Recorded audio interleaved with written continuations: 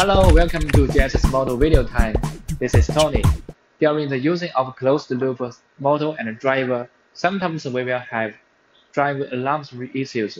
Today, we will see the reasons of the driver alarm issues from this video. Usually, there are three conditions of the alarms. First one, red light flash one time within 3 seconds. This is over current problem. Second one, red light flash two times within 3 seconds. This is over voltage problem. These two conditions do not occur often. Just choose the right power supply, this will not happen. The most common issue is the third condition. The alarm red lights flash 7 times within 3 seconds. These problems occur for two reasons. First, encoder wires disconnection or wrong connection. So check your encoder wire if it is connected well or correct. Look at this, the encoder wire is loose and uh, also the encoder wire order is wrong.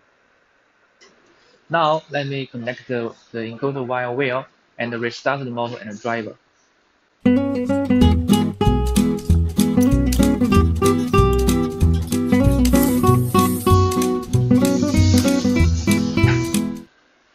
It works now.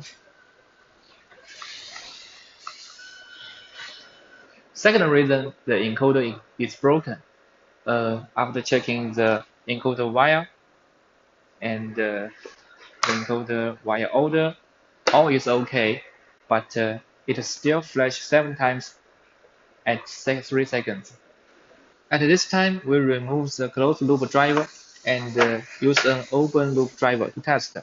Only connect the motor wires to open loop driver. Then power on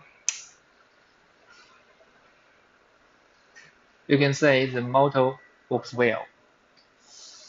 In this way, you can judge the motor is okay, just the encoder is broken. You need to change a new encoder of the closed loop driver. Okay, that's today's video. Hope this can help you. Uh, we're gonna see you next time. See you. Bye.